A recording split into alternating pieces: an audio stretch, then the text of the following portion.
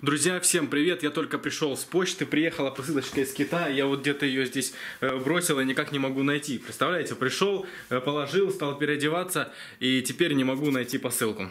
Вот такие дела.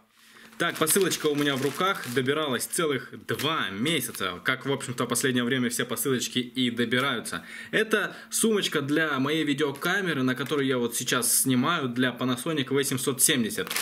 И что самое э, здесь немножко неприятное в том, что я ее заказал, а спустя недельку где-то или две зашел к продавцу на страничку, что-то там, ну, как обычно я захожу иногда к продавцу на страничку с товаром, чтобы почитать новые комментарии. И там увидел новый комментарий, мол, чувак пишет, продавец обманщик, и эта сумка не подходит для Panasonic 770. Вы представляете? Но сейчас мы это, в общем-то, и проверим.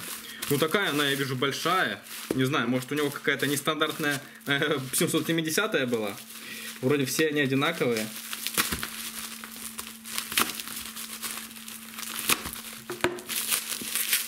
Так, что я сразу вижу, что она в пупырке сумка. И внутри еще одна, один пакетик. И там сумка. Реально она большая. На фото она была меньше, и она интересная такая. Так, я надеюсь, вам видно. Э, и фокус хорошо сработал. Просто у меня тут сейчас света не очень много, не успел настроить. Блин, я примерно этого и ожидал. Она очень клевая. Так, вот он первый карман. И здесь у нас расстегивается. На двух замках расстегивается. И вот так вот. Оп, выпадает здесь еще шнурок. Вот. Вот такое внутреннее отделение. Да ну, эта сумка влезет. Что это там покупатель э, написал? И она вот Здесь твердый материал, то есть она не мнется. Я именно такую искал. Просто куча есть сумок таких размеров, как на зеркалку. Я их не хотел, потому что у меня для зеркалки есть сумка. И таскать в сумке для зеркалки видеокамеру, ну, я не хотел. Поэтому я вот нашел вот эту. У всех продавцов, у которых она есть, у трех или у пяти, продаж мало, отзывов мало. Вот я поэтому, по сути, рисковал. Ну, как мы видим, Сюда влезет, наверное, еще и пауэрбанк. Мы, естественно, это протестируем. Я сейчас вам все здесь покажу и эту камеру выключу. Стану снимать, наверное, на зеркалку, ну и все продемонстрирую. Итак, здесь у нас на липучке идет карман раз, карман два, карман три, четыре. То есть тут что, реально получается раз, э, сюда можно положить, сюда что-то положить, сюда и сюда. Так, по швам. Ну, швы нормальные, все четко. Смотрите, какая красивая. Я не представляю, как вам это видно. Я на экранчике вижу, как будто вообще все черное, ничего не видно. Как будто вообще фокус не хочет работать.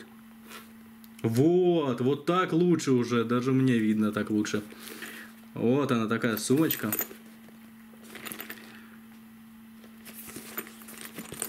Не зря ее заказал. Стоило там что-то в районе 10-12 долларов. Давайте я открою, сейчас будет лучше видно. Вот. Вот так.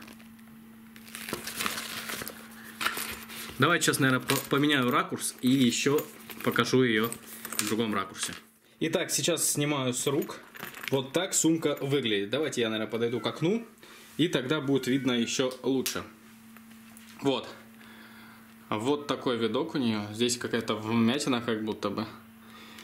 Э, давайте покажу снизу, сверху и сзади. Ну что я могу сказать, если в эту сумку что-то лезет, то это будет камера, э, проводок для зарядки и пауэрбанк. И, кстати, я уже все это сюда положил внутрь. Смотрите, какая она стала толстая.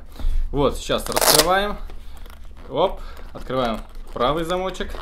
Опа, левый замочек. И у нас внутри лежит камера. Там проводок для зарядки и пауэрбанк. Давайте все это по очереди вытащим, и вы все поймете. Действительно ли это так или нет? Камера, э, проводок на пауэрбанке сверху и сам пауэрбанк вот такого размера. То есть небольшого. Итак, выводы. Сумка классная, все подходит, брать можно, качество нормальное. На этом все. Спасибо, что смотрели. До встречи в новых видео.